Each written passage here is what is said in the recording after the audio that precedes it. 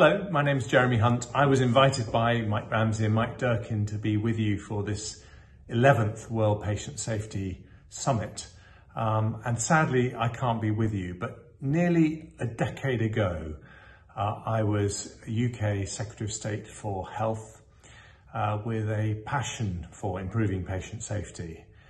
And I decided to fly across to just down the road from you, uh, Dana Point, to uh, a summit that this uh, mysterious American called Joe Kiani had organized. And I had heard about him and I thought, I just want to meet this guy and see what's going on. And I was so impressed by what I saw. And since then, uh, working together, we have come such a long way. We persuaded the World Health Organization under its previous Director General, Margaret Chan, and now uh, Dr. Tedros, to set up a World Patient Safety Day.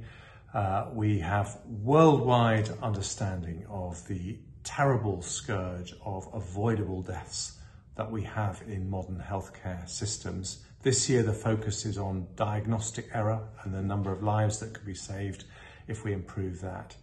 Um, but I just want to send you my, my good wishes and thanks for keeping uh, the flame burning because we are saving lives by doing this. And uh, I was taken on this journey actually not by medical experts, by, but by ordinary members of the public who'd lost loved ones in the most tragic of circumstances. That told me something needed to change.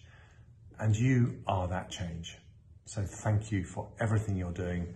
And I hope very much the summit goes well.